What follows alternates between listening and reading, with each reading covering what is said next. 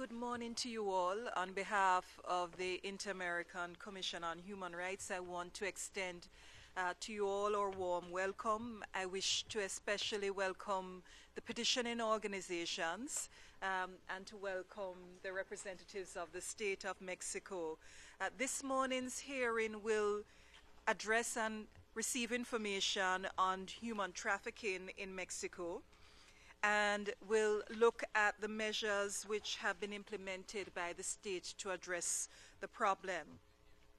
The petitioning or requesting organizations are the Observatory for Trafficking of Persons for Sexual Exploitation in the Federal District, the Center for Social and Cultural Studies, Antonio de Montesinos, uh, and the Collective for the Trafficking of Persons, AC. Um, we warmly welcome you and we look forward to the information you'll provide us. I wish to recognize Ambassador Rabasa from the uh, State of Mexico and the head of the delegation for Mexico, Vice Minister Robledo. Uh, with me this morning, we have the country rapporteur for Mexico, Commissioner Rodrigo Escobar Hill. I also have present with me Vice President of the Commission, Rosa Maria Ortiz, and also Commissioner with responsibility for issues relating to migrant persons, Commissioner Felipe Gonzalez, and former President. Uh, can I invite you for 20 minutes to share information with us? Thank you. Gracias. Buenos días, señoras y señores comisionados de esta honorable Comisión Interamericana de Derechos Humanos representantes del Estado mexicano y a todas y todos los presentes. Nos encontramos como peticionarias esta mañana Susana Hernández, por parte del Observatorio contra la Trata de Personas con fines de explotación sexual del Distrito Federal, quien compartirá con nosotros el contexto general en el Distrito Federal. Sheila Olivo, por parte del Centro de Estudios Sociales y Culturales Antonio de Montesinos, quien compartirá con nosotros un poco de la política pública que se ha instalado en el país en torno a la trata de personas, y yo, Mónica Salazar, del colectivo contra la trata de personas. El tema que nos reúne el día de hoy es la situación que actualmente se presenta en el Estado mexicano en torno a la trata de personas y la carencia de una aproximación analizada, coordinada, integral, presupuestada y en desarrollo para la prevención, atención, protección, persecución y sanción de la trata de personas, desde una base de los derechos humanos, garantizado en todo momento el respeto a los derechos humanos, tanto de las víctimas como de los victimarios y de los presuntos responsables de la comisión de este delito. Si bien el Estado mexicano hasta el momento ha realizado varios esfuerzos principalmente para tipificar, adecuadamente el delito de trata de personas, dichos esfuerzos han sido enfocados a la legislación, careciendo totalmente de una perspectiva que esté vinculada a la prevención adecuada, a la atención integral y a la reparación adecuada del daño y en su momento la integración o reintegración de las víctimas a la sociedad. Principalmente en materia legislativa lo que nos ha acontecido es que teníamos una ley en el 2007, un reglamento de la misma en 2009, que ambos fueron reformados integralmente en 2012 y 2013, de acuerdo a una reforma que se hace en la Constitución, facultando al Congreso para legislar en materia de trata de personas. Lo que ha provocado es que estemos otra vez en una situación de pausa, esperando a que todos los estados en el país se encuentren en una armonización legislativa. Lo que ha permitido es que haya muchos vacíos, principalmente en la persecución de este delito y en la interrupción de las acciones que ya se venían desarrollando. Como grupos principales identificados en México vinculados a la trata de personas, hemos identificado que se encuentran los niños, las niñas, la población indígena, las personas migrantes, las personas con discapacidad, la población LGBTI y de forma menos visible a los hombres. Desde el colectivo contra la trata de personas y las organizaciones peticionarias, hemos notado que las acciones tendientes a combatir la trata de personas se han enfocado principalmente a la erradicación de la prostitución, criminalizando la prostitución callejera. Lo que resulta evidente y fundamental es señalar que no tenemos todavía en México herramientas adecuadas que permitan identificar claramente situaciones de trata y situaciones de prostitución, tanto para hombres como para mujeres. Actualmente en México, bajo la nueva ley general, estamos viviendo una situación en donde todas las mujeres que se han encontrado en espacios de bailes eróticos, prostitución callejera, prostitución particular, casas de masajes y otros espacios han sido identificadas como víctimas de trata, independientemente de que en muchas de las situaciones ellas mismas han manifestado que no se encuentran en una situación de explotación y o que no hay una tercera persona que las esté obligando o sometiendo a cometer estos delitos. Sin embargo, en los casos en donde se han identificado hombres, en la mayoría de las situaciones se considera que estos están voluntariamente sin que se llegue a determinar el sometimiento de estas personas, principalmente por organizaciones vinculadas a la delincuencia organizada. En ese sentido, también estamos identificando una situación grave que presentan los niños y las niñas que están siendo sometidos a vincularse de una forma forzada a grupos de delincuencia organizada y delincuencia común.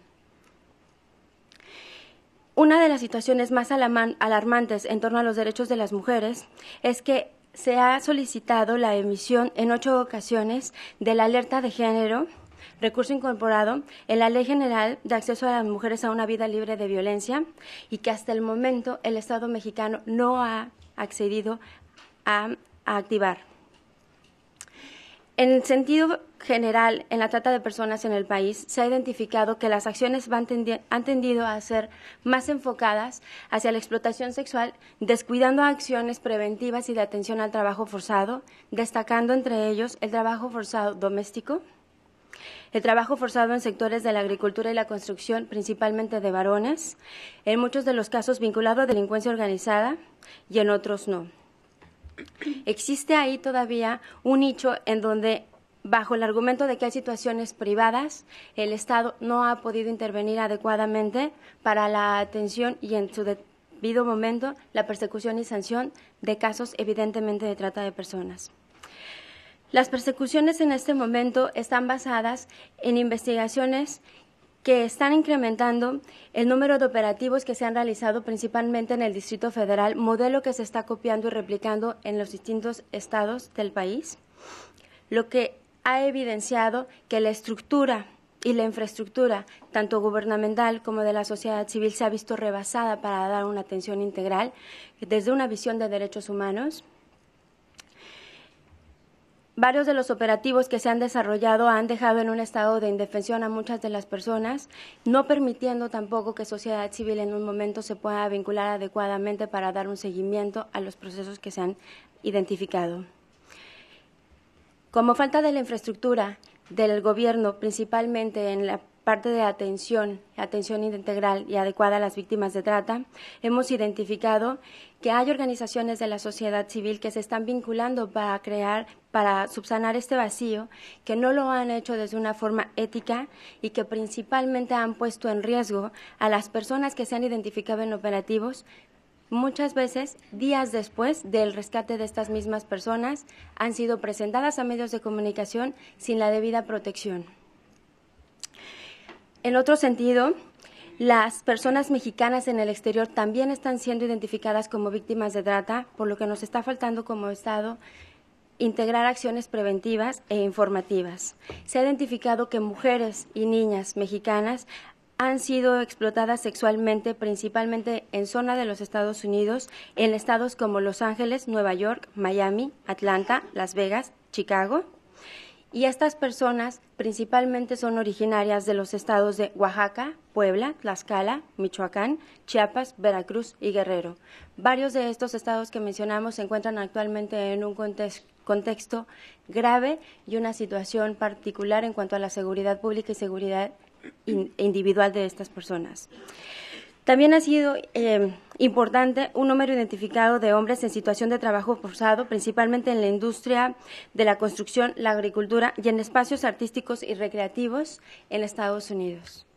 Por mi parte es todo. Cedo la palabra a Susana Hernández. Muchas gracias, Mónica. Eh, bueno, de nuevo, buenos días a todos y todas. Eh, un agradecimiento especial por el espacio. Lo que yo les voy a compartir va más enfocado hacia explotación sexual de mujeres, niñas, niños y adolescentes en el Distrito Federal. He preparado mi exposición en dos momentos. El primero de ellos va a ser sobre un, breve relato sobre el contexto y el modus operandi de las bandas de tratantes en el Distrito Federal. Y en un segundo momento hablaré de de cómo esta situación a nivel nacional eh, ha tenido un impacto negativo en el derecho a la seguridad jurídica y el acceso a la justicia. Bueno, las peticionarias consideramos que la trata de personas con fines de explotación sexual es una expresión de la violencia contra las mujeres, tal como lo marca el artículo 2 de la Convención Belém do Pará. Y creemos que es ineludible analizar este fenómeno desde la perspectiva de género. Por lo tanto, todas las acciones, tanto de prevención como atención, tendrían que estar incorporando este enfoque.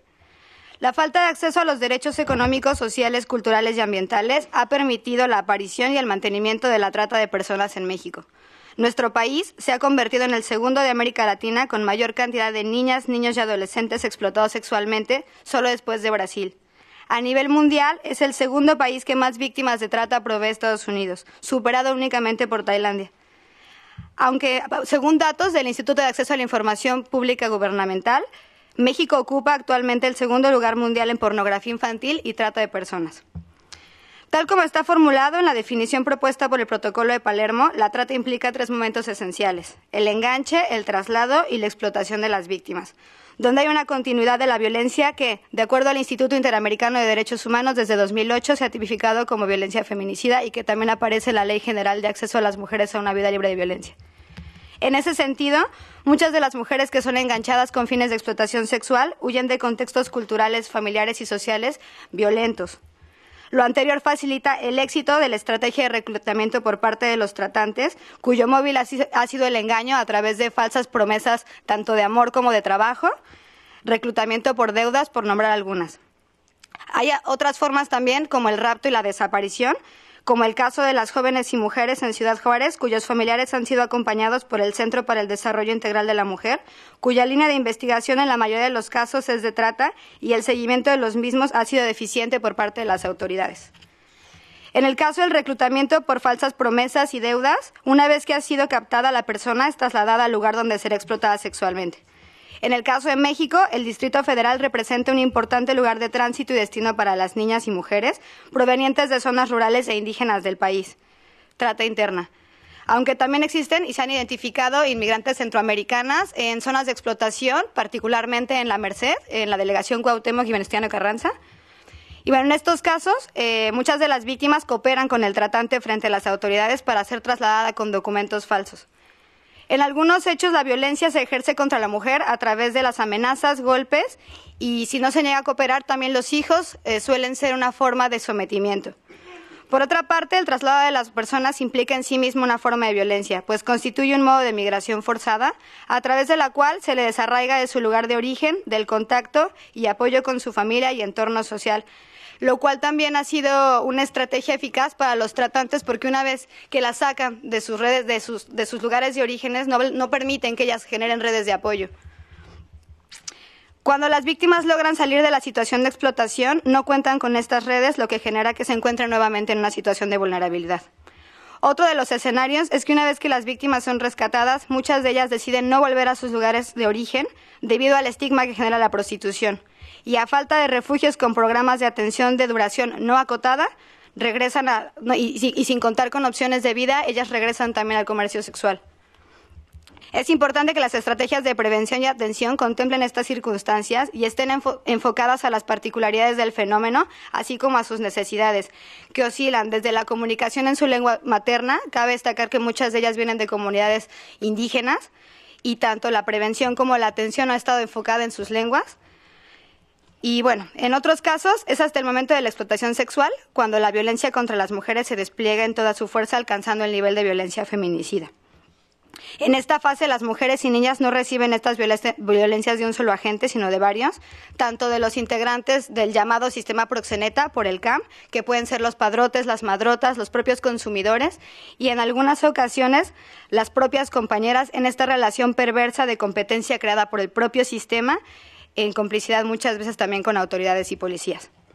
Debido a la falta de postura del Estado mexicano frente a la prostitución, cabe destacar que en México la prostitución no es un delito, está sancionada como una falta administrativa de acuerdo a la Ley de Cultura Cívica, reformada en 2004 y dicha sanción ha ocasionado que tanto las víctimas de trata como las mujeres en situación de prostitución se encuentren en vulnerabilidad, ya, ya que por una parte los tratantes utilizan la desinformación respecto a esta sanción para atemorizar a las víctimas que piensan que la prostitución es un delito, y cuando se realizan operativos las mujeres dicen que lo, lo que los tratantes quieren, justo porque temen estar cometiendo este delito. Y por otra parte, las mujeres en situación de prostitución son víctimas de corrupción a través de esto por parte de las autoridades.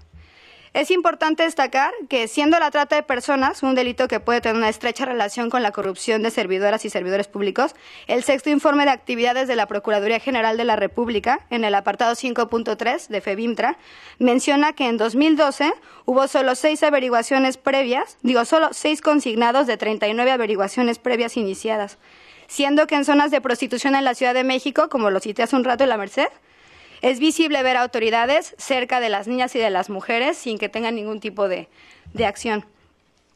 Y bueno, para concluir mi participación, el sistema de identificación de casos por parte de las autoridades ha sido mediante operativos, particularmente en bares y hoteles en contextos de prostitución. Dicha forma de actuación ha constituido una violación de los derechos de las mujeres que no se encuentran en situación de trata y que mientras permanecen en los ministerios públicos eh, cabe aclarar que el tiempo en el que el Ministerio Público determina si el caso es de trata o no, o no es trata es de 36 a 72 horas más o menos. Y en ese tiempo, los hijos y las hijas de ellas no cuentan con información sobre el paradero de la madre y muchas veces permanecen encerrados en cuartos de hoteles o en la calle en una situación de riesgo. Porque también sería, es importante compartirles que muchas de las mujeres que están tanto en contextos de prostitución como en situación de trata viven en hoteles o viven en cuartos en las zonas de prostitución. Y bueno, por lo tanto, sería fundamental contar con un sistema de procuración de justicia que contemple de manera integral lo que acontece cuando se lleva a cabo un operativo, no solo para el seguimiento de las víctimas, también para las mujeres en contextos de prostitución. Gracias. Buenos días a todos y a todos. Agradecemos el espacio. Voy a continuar con algunas cuestiones que hemos analizado en las peticionarias respecto a la política pública. Al no existir un sistema de información único, eficiente y público para la identificación de los casos, las cifras sobre el número de víctimas son inciertas. Desde el 2012, en el contexto de la reforma de la Ley de Trata de Personas, de acuerdo con cifras del Instituto Nacional de Estadística y Geografía, el INEGI, existen 12 millones de víctimas de trata de personas en el país. Al hacer el cruce de estos datos con los arrojados con las instancias vinculadas a la atención y persecución de este delito, podemos identificar que los datos son poco claros y no permiten dimensionar la problemática del país, situación que ha sido cada vez más frecuente en otros estados. Algo que ha favorecido las violaciones a los derechos humanos de niñas, niños, adolescentes y mujeres es la omisión y la falta de entendimiento de una violación de los derechos para justificar la no actuación. Se han emitido diversas recomendaciones por parte de la Comisión de Derechos Humanos del Distrito Federal a diferentes delegaciones, destacando la delegación Cuauhtémoc, que históricamente ha sido identificada como una de las demarcaciones con un alto índice de niñas y niños en contextos de explotación sexual en calle y mujeres jóvenes y algunos hombres, principalmente población LGBTTI y población indígena, que en algunos casos presentan reporte de desaparición en otros estados. El cumplimiento de dichas recomendaciones ha sido lento por parte de la delegación Cuauhtémoc, pero ha traído como consecuencia el incremento indiscriminado de operativos en la misma zona por parte de la Procuraduría General de Justicia del Distrito Federal. Derivado del trabajo de campo que hemos realizado, en los testimonios recabados se destacó la discriminación de operadores de justicia y la corrupción de los mismos. En los casos de violencia feminicida vinculada a la trata de personas, los entes policíacos y ministeriales parecen tener dificultades al indagar sobre los mismos debido al desconocimiento del delito de trata de personas, generando acciones de discriminación hacia las personas en contextos de prostitución, dilatando el acceso a la justicia. Las peticionarias concluimos que la violencia feminicida a la que son sometidas las víctimas de trata con fines de explotación sexual no termina con la ejercida por parte de los tratantes. Esta permanece y es estructural resultado de la omisión del Estado en su obligación de asegurar el disfrute de los derechos sociales, económicos, culturales para todas las personas que habitan y transitan en el Distrito Federal. Respecto de la atención, las víctimas son canalizadas hacia centros de atención sin la fortaleza estructural requerida, tanto de gobierno como de sociedad civil. Destacando la falta de coordinación y adecuada conducción de recursos para instancias gubernamentales que sí están teniendo buenos resultados. Por otra parte, consideramos como organizaciones de la sociedad civil que es crucial fortalecer el vínculo con las instituciones gubernamentales para otorgar atención adecuada a las víctimas de trata sin eximir la responsabilidad estatal en ello. La atención integral requiere recursos e instalaciones accesibles, asequibles y con calidad que puedan brindar apoyo e incorporar programas de salida en el contexto de la violencia continua bajo un, bajo un enfoque de derechos humanos y perspectiva de género. Dicha atención integral, expedita, oportuna y focalizada en las necesidades de la víctima debe llevarse a cabo con la adecuada coordinación de las instituciones encargadas para ello. Estamos conscientes que la atención en este sentido a las víctimas de este delito es alto por lo que desde las organizaciones de la sociedad civil hemos apostado por acciones preventivas. Sin embargo, las campañas preventivas que se han desarrollado en el país han carecido de indicadores de impacto, transparencia y rendición de cuentas, así como la coordinación inter e intrainstitucional. Las acciones que realiza el Estado mexicano para dar respuesta al fenómeno a través de las políticas públicas generadas en torno a la trata de personas carecen de una definición del problema público, cuyo asunto resulta preocupante, dado que hoy en día los instrumentos de planeación y programación adolecen de una conceptualización precisa e integral que aborde las múltiples dimensiones del problema de la trata. Por lo tanto, es necesario que se publique el diagnóstico elaborado por la Fiscalía en 2010 y por la Secretaría de Gobernación en vínculo con la Oficina de las Naciones Unidas contra la Droga y el Delito en 2012. Resulta urgente no replicar en 2014 las múltiples fallas que desde, el 2007 se vienen eh, realizando. Este punto es fundamental, puesto que aunque se tenga un avance en el diseño institucional, programático y presupuestario, si los supuestos sobre los que está definido el problema público siguen siendo limitados, las acciones que de ellos derivan tendrán las mismas características. Una evidencia de ello es el hecho de que la política pública contra la trata de personas con fines de explotación sexual se caracteriza por una fuerte orientación a la justicia punitiva, dejando descubiertas otras áreas que son necesarias de enfrentar como la prevención, la atención y la procuración de justicia entendida esta en sus acepciones más amplias. Asimismo, es fundamental utilizar los contenidos de derechos humanos, los cuales no se han logrado establecer en la gestión de la política pública para la atención de este delito sobre todo en términos de rendición de cuentas y transparencia. Se necesita dar cuenta y publicitar los qué, cómo y por qué se definen ciertas acciones y no otras ante la ciudadanía y no solo como actos administrativos. Dichas condiciones resultan necesarias, en especial en la atención a este fenómeno. Eh, por lo anterior, entre otras peticiones que realizamos a esta honorable comisión, solicitamos se analice una eh, o se vea la posibilidad de una visita en loco en México para que puedan ser testigos de la realidad en materia de la trata de personas al interior del país y formulen recomendaciones al Estado mexicano. Eh, bueno, pedimos que el Estado mexicano informe sobre los mecanismos de protección y atención a sobrevivientes, así como el impacto de la prevención. Finalmente, solicitamos a la Comisión Interamericana que pida al Estado mexicano una opinión consultiva respecto a la prostitución y el trabajo sexual desde una visión de derechos humanos. Gracias.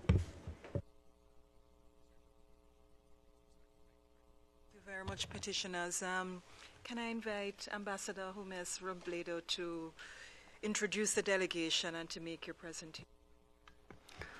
Muchas gracias, señora presidenta.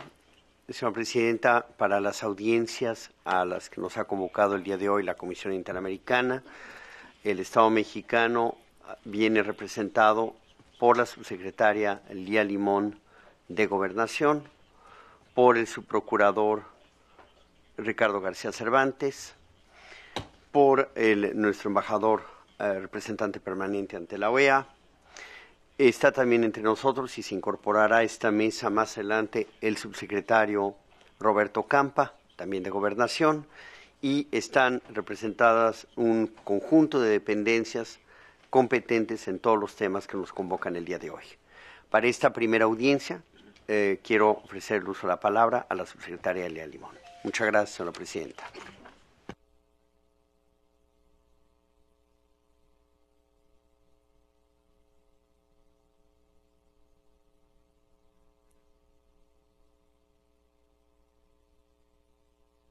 días.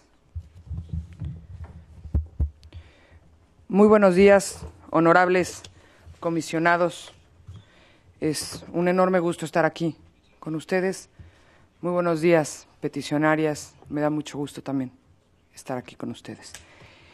Primero, y permítanme mencionarlo porque me parece algo muy relevante, eh, no, no tiene que ver con el tema de trata, pero quiero hacer esta mención al inicio de estas audiencias. El día de ayer, la Secretaría de Gobernación informó sobre el indulto al profesor indígena Alberto Patistán, acusado de, participar en una emboscada a policías y quien llevaba 13 años en la cárcel. El presidente, eh, en ejercicio de sus facultades contenidas en la Constitución y en el Código Penal Federal, y considerando que habían habido violaciones a los derechos humanos del profesor Patistán, eh, tras un profundo análisis jurídico y de todas las circunstancias que imperaron a lo largo del caso, tomó la decisión de llevar a cabo este indulto. Con este hecho, el Gobierno de la República reafirma el compromiso indeclinable con la protección de los derechos humanos y pone a las personas en el centro de todas las decisiones y de las políticas públicas. Sin duda alguna, eh, reitero el compromiso que hizo manifiesto ayer el secretario de Gobernación de fortalecer, trabajar en fortalecer las instituciones de procuración de justicia. Y es un paso de enorme relevancia, sin duda alguna, para la construcción de un Estado democrático de derecho. Por eso me permito hacer esta mención aquí.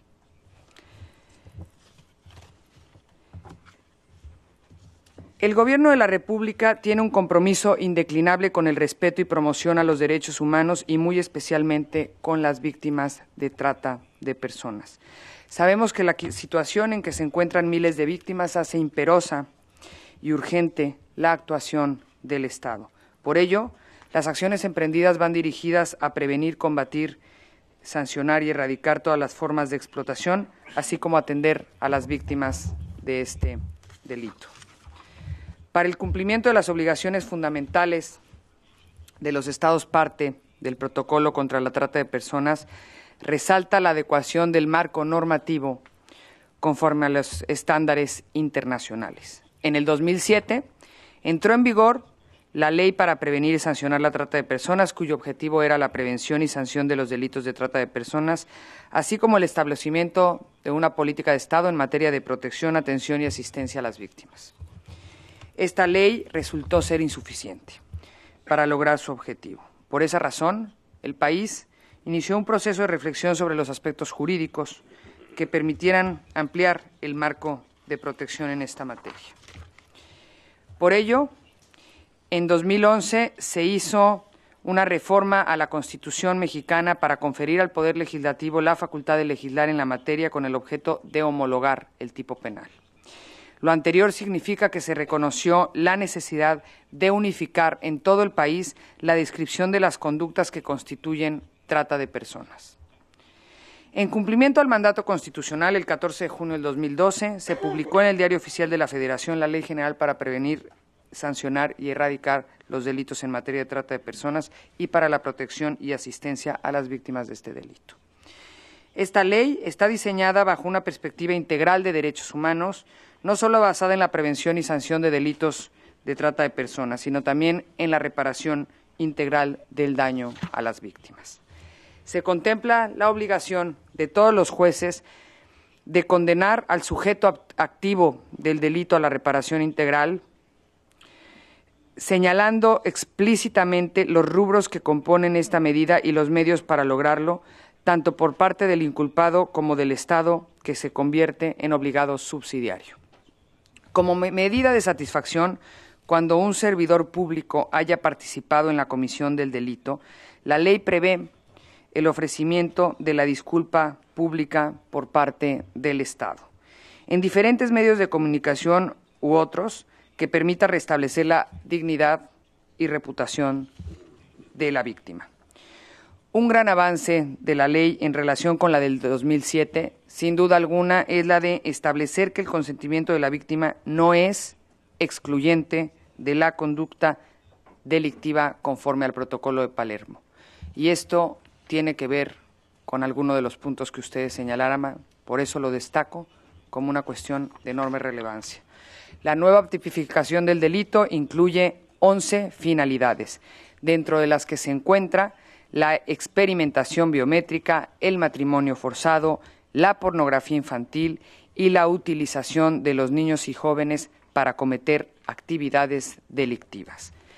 En materia de sanciones, aumenta la penalidad a 40 años de prisión, pudiendo incrementarse hasta los 60.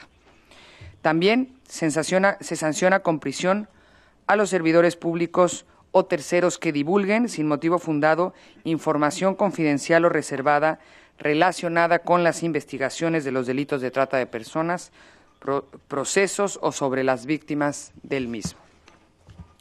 Finalmente, la ley prevé sanciones para las personas que dirijan, gestionen o editen un medio impreso, electrónico o cibernético que promueva, facilite o procure publicidad engañosa con fines de trata sin menoscabo de los derechos a la libertad de expresión, imprenta y similares. Honorables comisionados, honorables peticionarios, uno de los principios rectores de la ley es proteger la integridad física y psicológica de las víctimas. Por esa razón, contempla el resguardo de la identidad de la persona y establece garantías muy importantes de no revictimización. En particular, establece la participación de la sociedad civil en los trabajos de recuperación, rehabilitación y resocialización de las víctimas. En este sentido, otro avance legislativo de vital importancia en el tema de asistencia a víctimas fue la publicación por parte del presidente Enrique Peña Nieto a principios de este año de la Ley General de Víctimas. Esta ley incorpora en México el concepto de justicia restaurativa y pone a la víctima en el centro de nuestro sistema de justicia penal del que históricamente había sido relegado. Este ordenamiento contempla la asistencia, protección, atención y reparación integral y restitución de los derechos de las personas víctimas de delitos y violaciones a los derechos humanos. También es importante señalar que esta ley establece entre los comités a crearse dentro de la Comisión Ejecutiva para trabajar en este tema un comité que atienda el tema de trata. El reglamento de la Ley General de Trata se publicó el pasado 23 de septiembre, después de un largo proceso de consulta y trabajo con las distintas instancias involucradas, justamente para lograr trabajar en coordinación, entre otras cosas, para lograr que las acciones de las distintas instancias del Gobierno que tienen que ver con el tema de prevención, sanción y erradicación de la trata de personas estén coordinadas y sea un trabajo conjunto. Este instrumento, además, hay que decirlo, se armonizó con la Ley General de Víctimas para ampliarse el sistema de protección. Este reglamento considera, entre otros, los siguientes aspectos. La obligación de vigilar los albergues, casas de medio camino y refugios para asegurar que estos sean espacios adecuados y cuenten con personal capacitado, uno de los puntos que también mencionaban como un punto de preocupación y que coincidimos en que hay que garantizar eso y por eso justamente el reglamento señala esta obligación. La elaboración de modelos de actuación para las autoridades involucradas en la atención, investigación y sanción de estos ilícitos, justamente para lograr que a través de estos modelos diseñados se pueda atender y trabajar de manera adecuada. El establecimiento de bases de coordinación entre las autoridades involucradas con el objeto de definir las políticas y línea de acción en esta materia a nivel nacional. Repito, justamente para lograr ese trabajo coordinado. La vigilancia y monitoreo de anuncios clasificados a fin de evitar publicidad engañosa que promueva las conductas delictivas la inspección de lugares en los que se presuma la comisión de delitos relacionados con la trata, la atención médica integral a las víctimas de trata a fin de contribuir a su adecuado, adecuado tratamiento y reintegración social, médica y psicológica. La administración de un fondo para cubrir gastos médicos, de educación, de alimentación, en atención psicológica, entre otros, con el objeto de reparar el daño de manera efectiva. También uno de los puntos que señalaban y que nos parece central. La capacitación y sensibilización de todos los servidores públicos que estén involucrados en la atención a víctimas para que esta atención se dé de manera adecuada. En cumplimiento a la ley, el Programa Nacional contra la Trata de Personas se elaborará con la participación de instituciones gubernamentales, sociedad civil, académicos y expertos en la materia. Por supuesto, peticionarias están más que invitadas a trabajar con nosotros en la elaboración del programa. Al igual que el Plan Nacional de Desarrollo y el Programa Nacional de Derechos Humanos, que lo estamos trabajando con esa lógica y con un amplio ejercicio de involucramiento de la sociedad civil.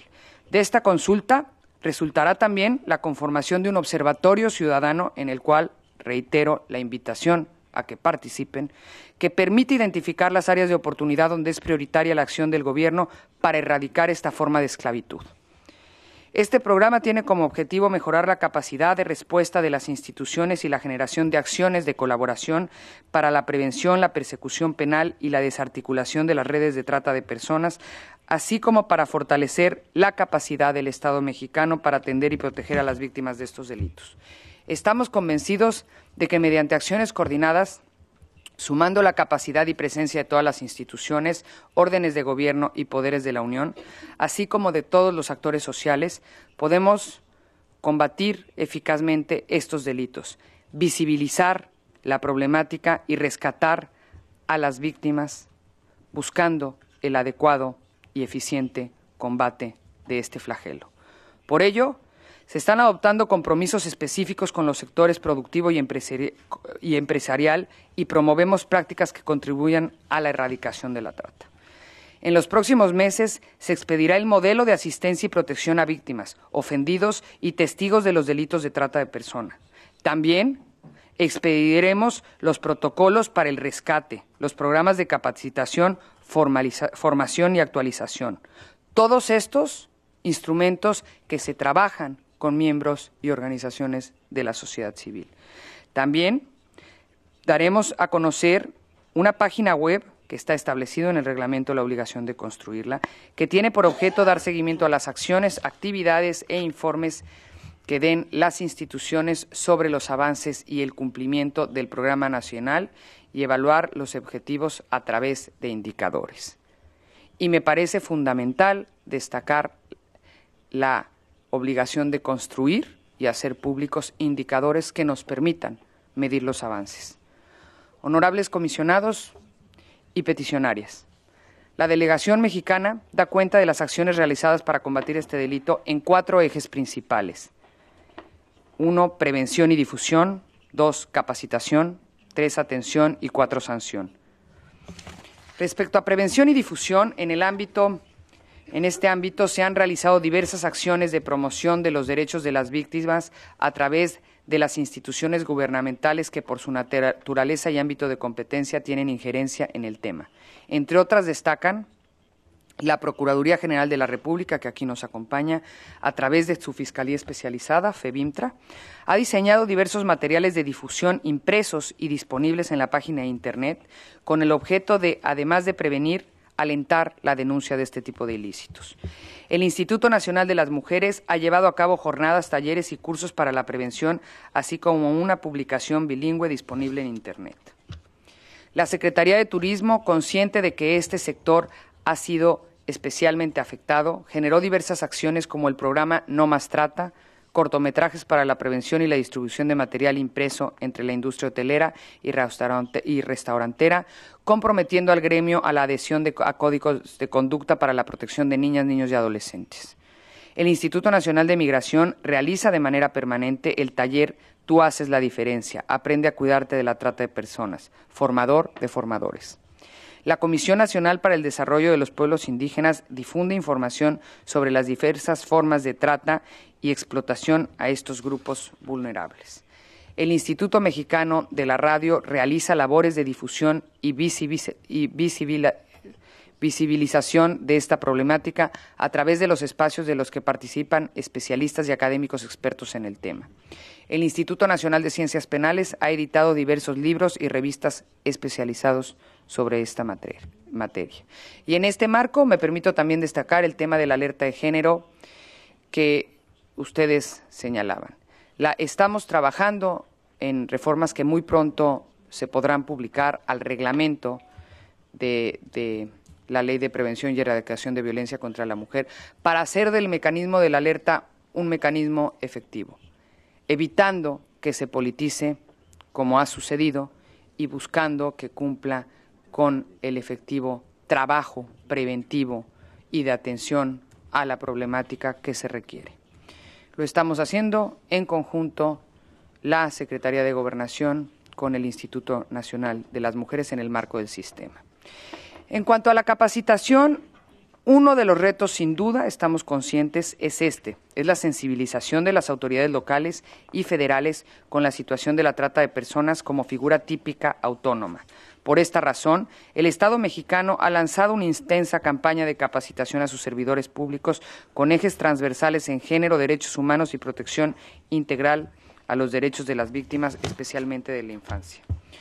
Otra de las acciones de mayor trascendencia es la aprobación del modelo de capacitación unificado en, el Encuentro Nacional de Presidentes de Tribunales Superior de Justicia y Procuradores Generales de 2012, sobre el que recientemente se realizó el segundo seminario dirigido a personal ministerial y asimismo se llevaron a cabo dos foros de análisis y consulta para la correcta aplicación de la ley. El Poder Judicial Realizó tres seminarios y un ciclo de conferencias dirigidos a funcionarios judiciales y públicos en general y editó la serie Género, Derechos y Justicia y la colección Voces sobre Justicia y Género. Cobra especial relevancia que el Poder Judicial de la Federación haya elaborado y hecho públicos tres protocolos muy importantes. Primero, el protocolo para juzgar con perspectiva de género también está el protocolo para la actuación cuando estén involucradas personas migrantes sujetas a protección internacional y, el protocolo que tiene que ver con la actuación en casos que afecta a niños, niñas y adolescentes.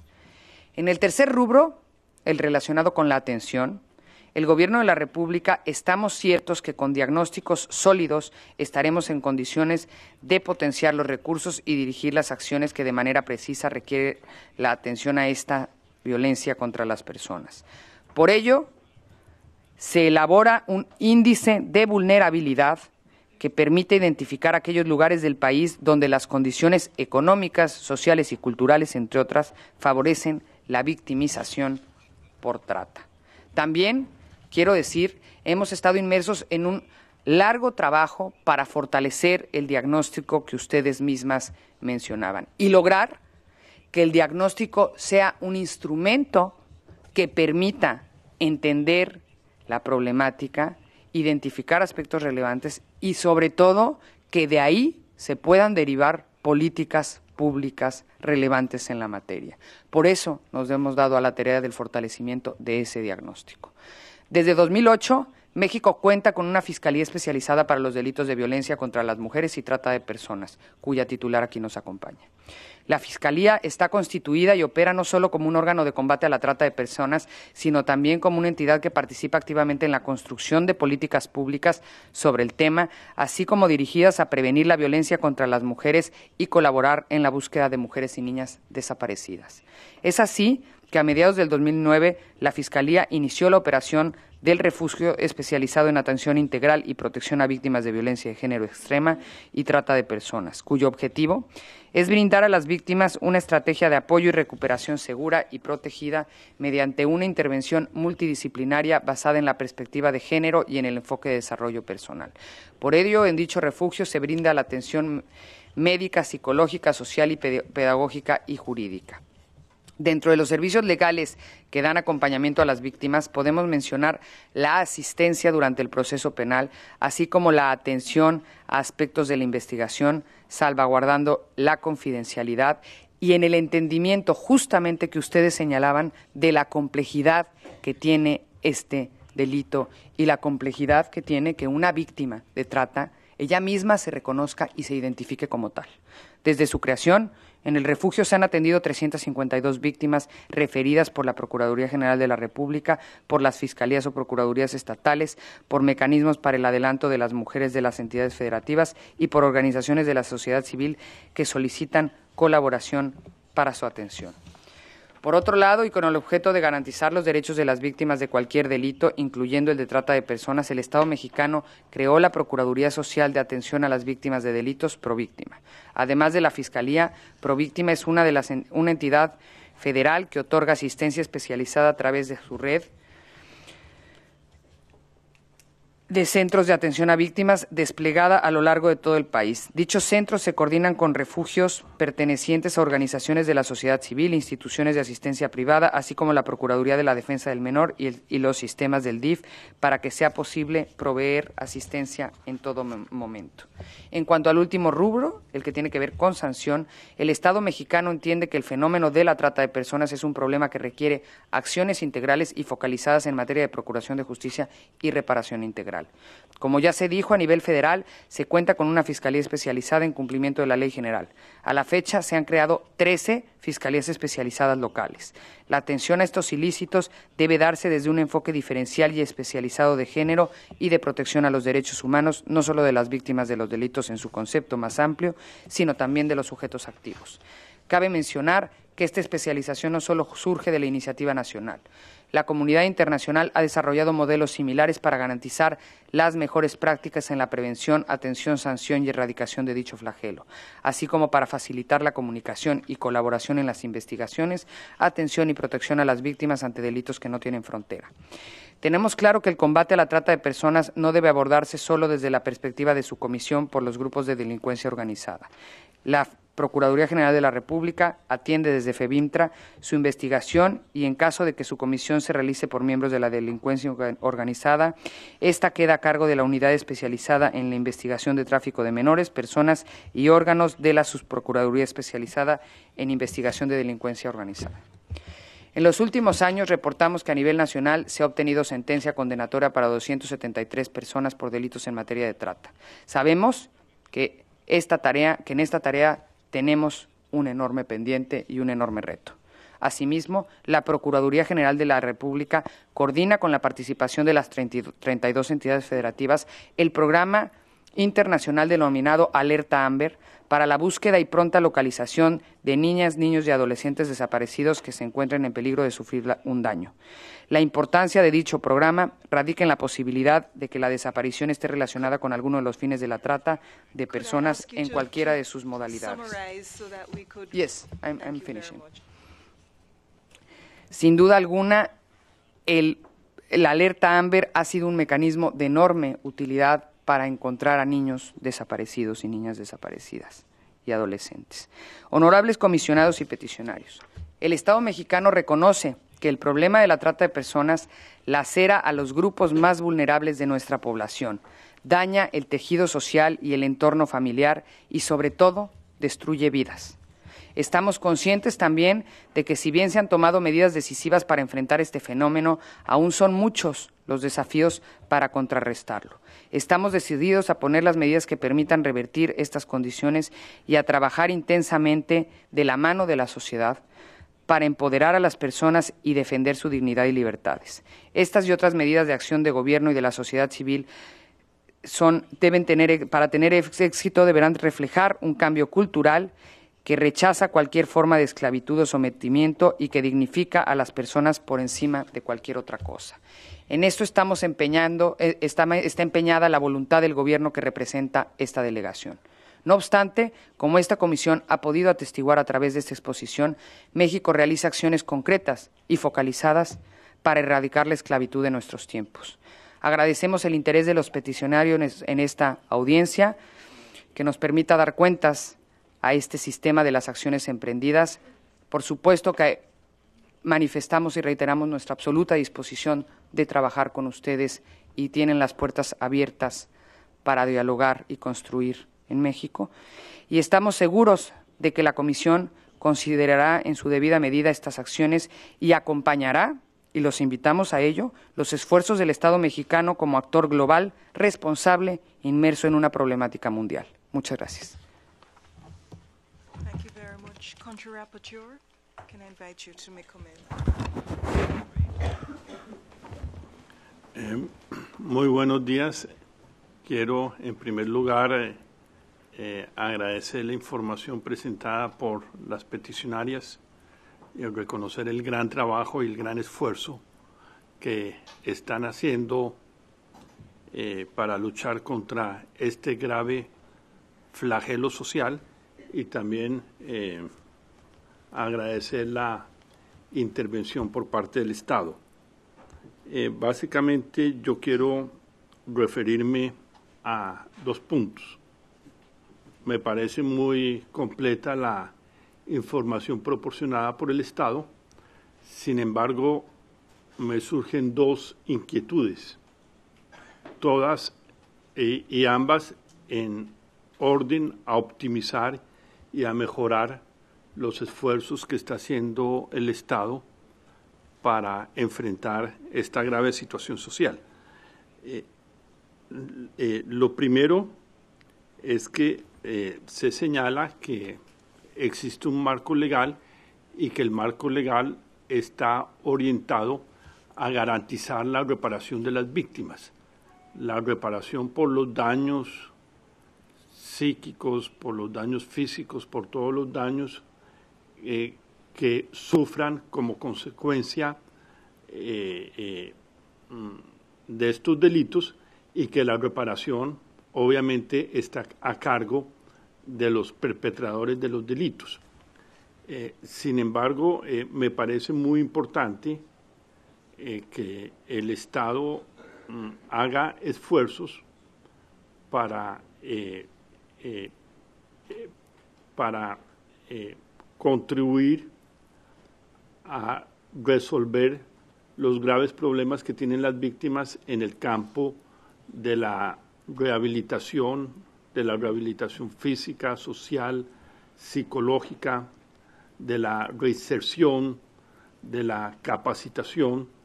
Entonces, en, ese orden de ideas, eh, eh, pues no es suficiente con que la legislación establezca todo un catálogo de reparaciones, sino que el Estado implemente programas efectivos para ayudar económicamente a las víctimas, que haya un presupuesto, que haya unos recursos. El Estado tiene la obligación, tiene el deber, eh, no solamente es una obligación a cargo de los violadores de los derechos humanos, sino que el Estado, la sociedad y la familia tiene deberes de solidaridad frente a las víctimas de estos delitos. Y en ese orden de ideas sí me gustaría conocer si eh, concretamente el Estado tiene programas de ayudas económicas, de beneficios económicos, de subsidios, de programas de educación, de empleo, etcétera, para que efectivamente estas personas puedan encontrar eh, una, una eh, oportunidad. Y de otro lado, eh, es importante que haya políticas públicas, pero también las políticas públicas tienen que tener un carácter diferenciado. De las políticas planteadas por el Estado se hace un gran énfasis en la perspectiva de género. Eso está muy bien, pero también es importante otras perspectivas. Tiene que haber políticas diferenciadas eh, cuando las víctimas de la trata son niños y niñas. O también debe existir una política diferenciada frente a la población LGTBI. Acá hemos visto en las audiencias de la comisión cómo pues, eh, las personas trans eh, y las personas que tienen otra orientación sexual también son víctimas de este delito y también tiene que existir una política pública en esta materia de la intervención del Estado eché de menos de que no se refieran a estos grupos vulnerables. Muchas gracias.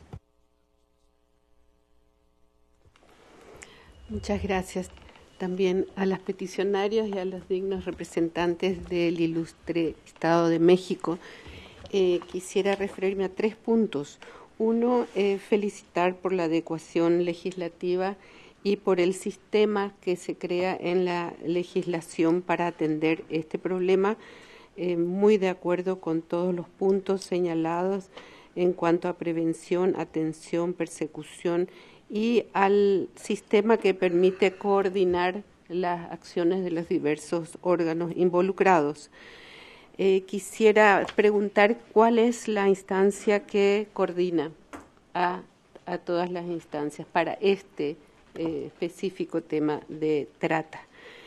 Y Y decir que estoy sorprendida que los, organismos mencionados no, ah, no hacen alusión a ninguna organización que trabaje por la niñez y la adolescencia cuando que son víctimas importantes en este flagelo.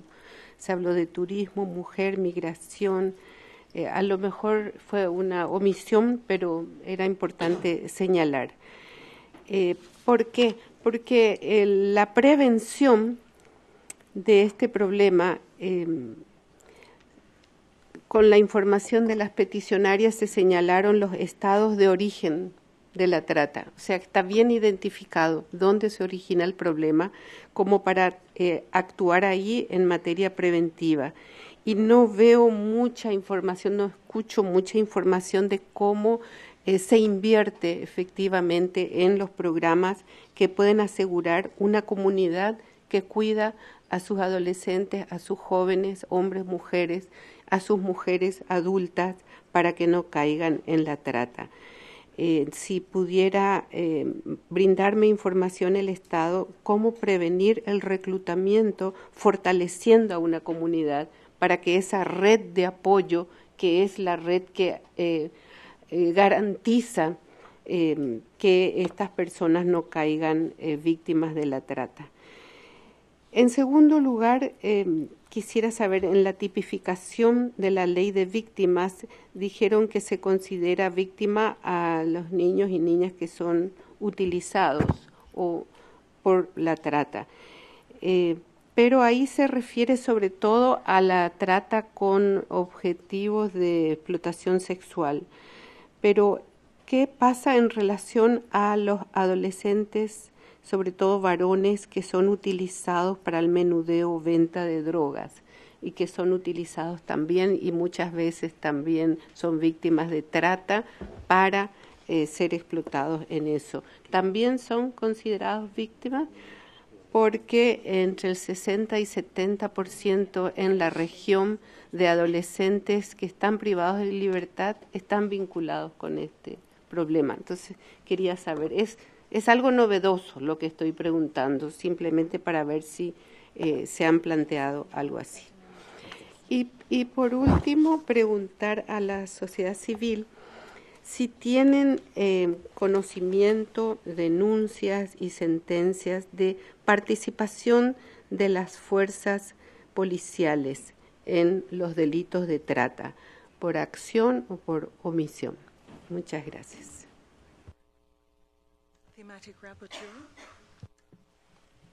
Bueno, muy buenos días. Muchas gracias a las peticionarias y a la delegación del Estado por sus presentaciones, que creo que son muy ilustrativas para la Comisión Interamericana.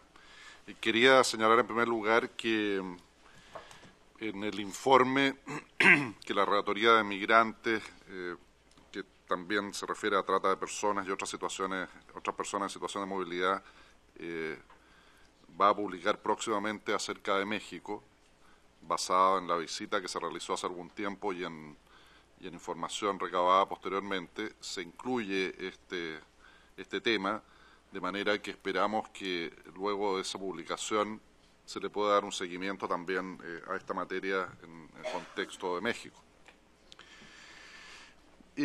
yo quería eh, referirme a, algunos eh, puntos. Por una parte, se señaló aquí por las peticionarias el hecho de que el carácter de falta administrativa que tiene la prostitución en México sería un factor que este, desalentaría a las personas víctimas de, trata que estén ejerciendo la prostitución eh, a manifestar su a manifestar su dar a conocer a denunciar la situación de que son objeto.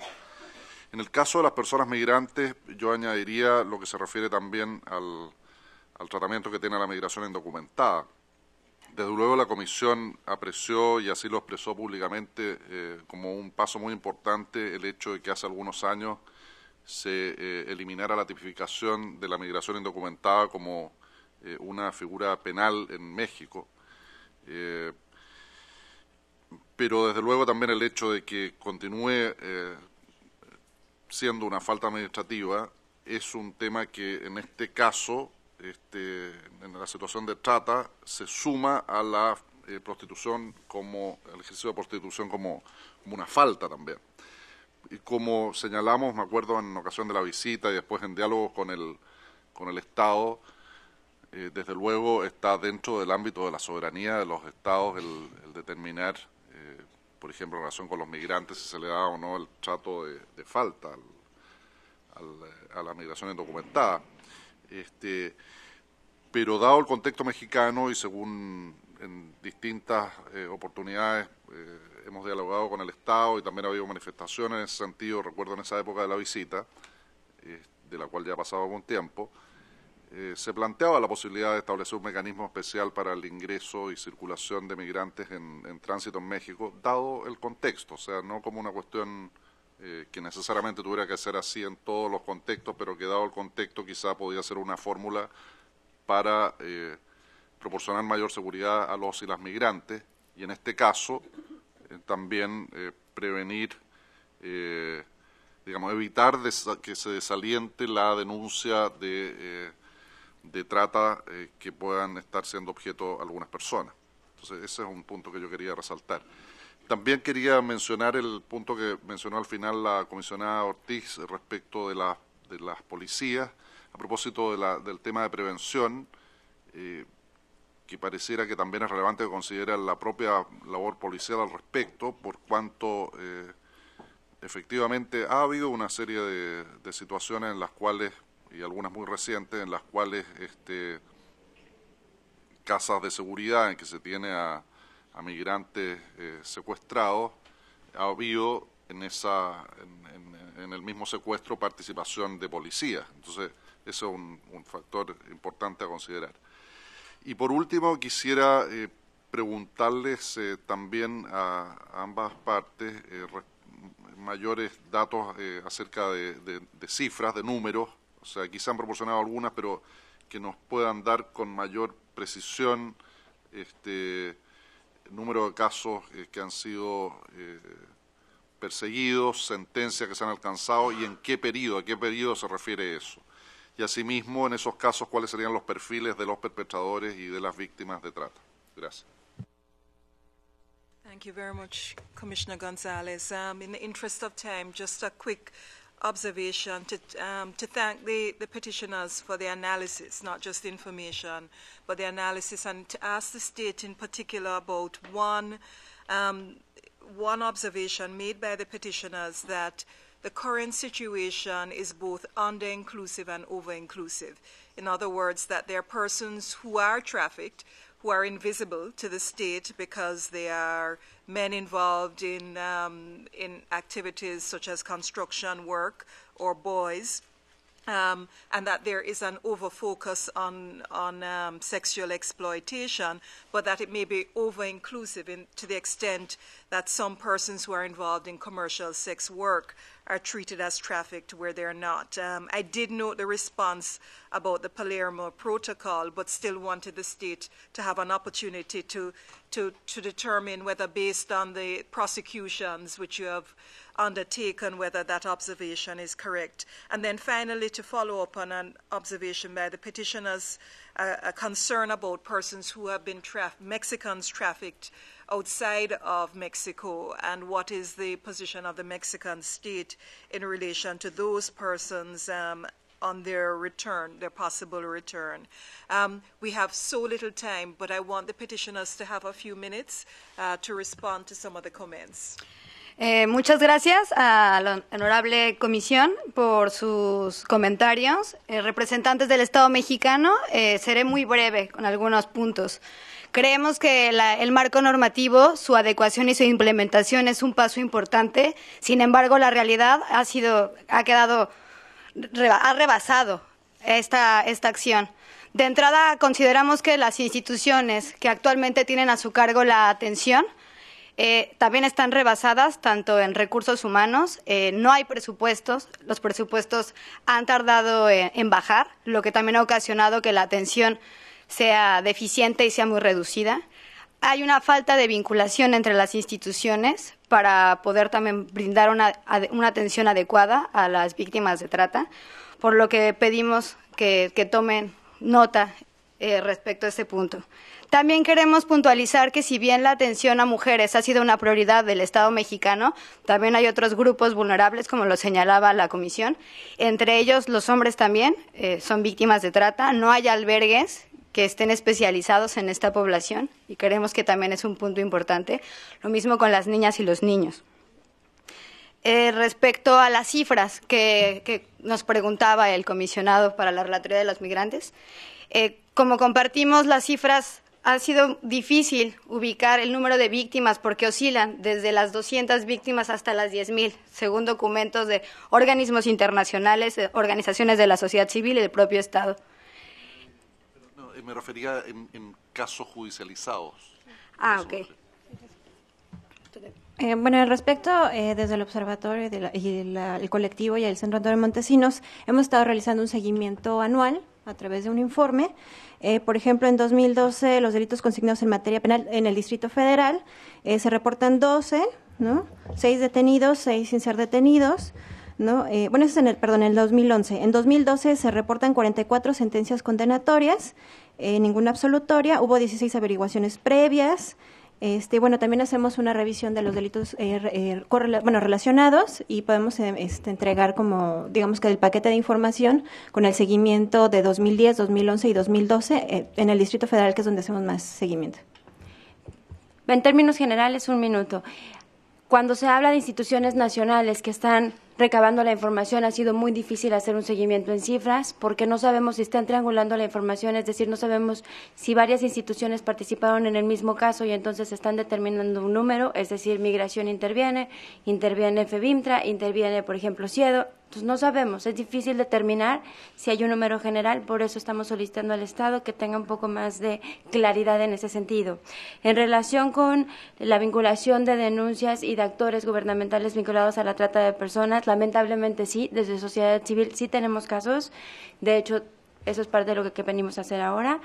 Eh, tenemos casos tanto a nivel local como a nivel nacional de autoridades vinculadas, de autoridades que tenían que establecer una participación mucho más enfocada y delimitada de acuerdo a sus distribuciones y que no lo realizaron, y en otro sentido, principalmente con personas extranjeras, en donde tuvieron una participación activa tanto para el reclutamiento como para el sometimiento de estas personas para fines de explotación tanto laboral como sexual y vinculado a delincuencia organizada.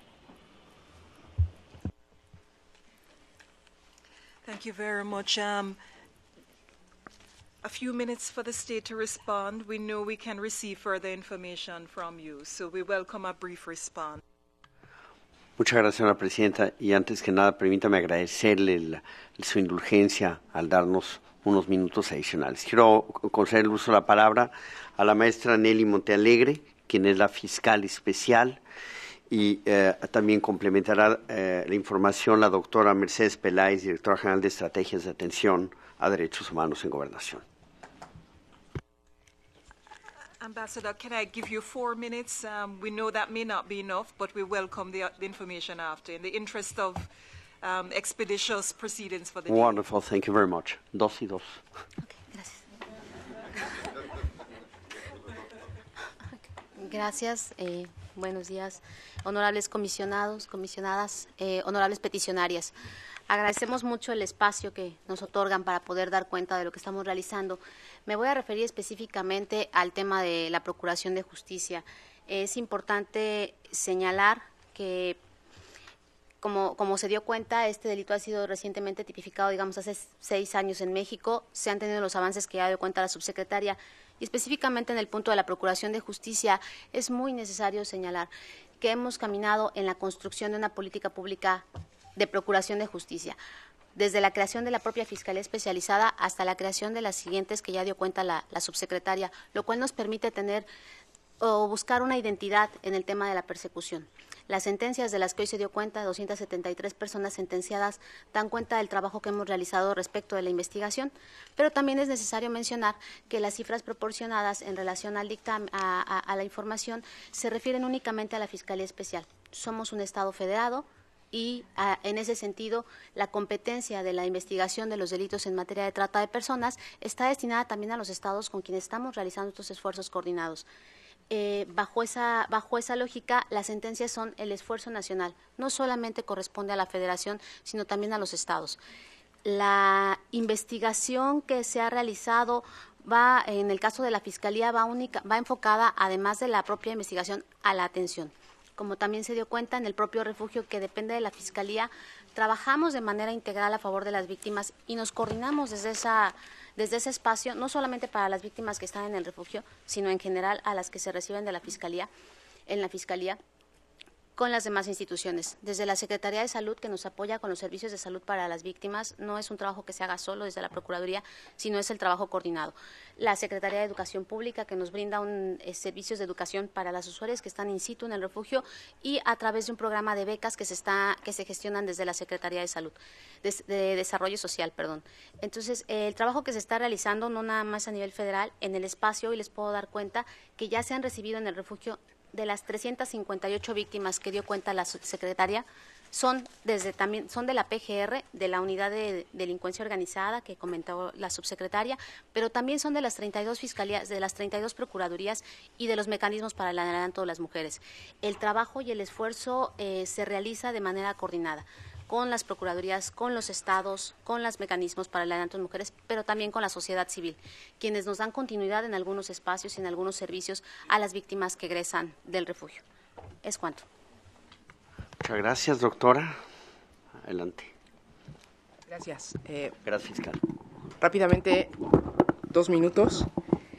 La instancia un minuto. La instancia coordinadora en materia de trata de personas a partir de la reforma al reglamento interior de la Secretaría de Gobernación es la Subsecretaría de Derechos Humanos a través de la Dirección General de Estrategias para la Atención a Derechos Humanos que encabeza su servidora y estoy a sus órdenes. Eh, sobre el tema de la participación de policías, especialmente agentes federales, migración o policía federal, están de verdad invitadas a presentar las denuncias. Tenemos instrucciones del señor secretario de Gobernación de atender muy puntualmente cualquier denuncia sobre funcionarios federales involucrados en la trata de personas.